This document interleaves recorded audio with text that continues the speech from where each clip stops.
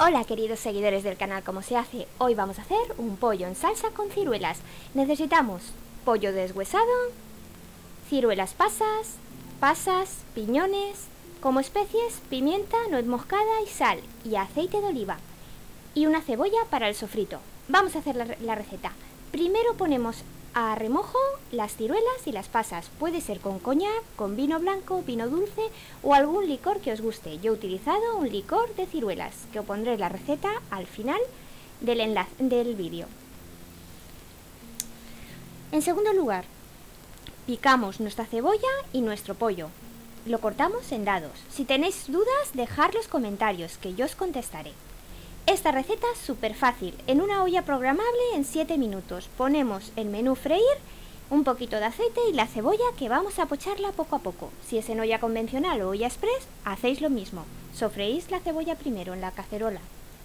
Una vez sofrita, añadimos el pollo cortado en dados y rehogamos bien.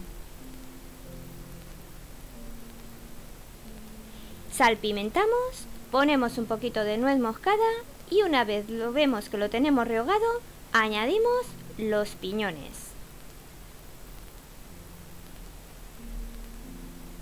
Rehogamos bien para que vaya cogiendo el, el, aroma y el sabor y ponemos las ciruelas con el licor que hayamos utilizado, que será la base de nuestra salsa. Si os gustan nuestros vídeos, os animo a que os suscribáis al canal para no perderos ninguno. Muy fácil ya, ya está rehogado, ponemos menú pollo, 7 minutos y mirar qué rápido tenemos esta deliciosa salsa. Tapamos bien y dejamos cocer. Como he dicho, en olla programable 7 minutos, en olla express 20 minutos y en olla tradicional 40 minutos.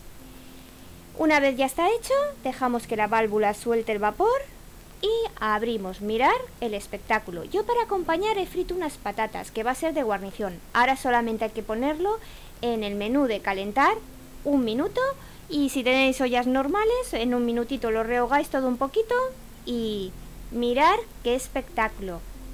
Mirar esta receta es increíble, súper rápida, os gustará. Os espero en próximas recetas.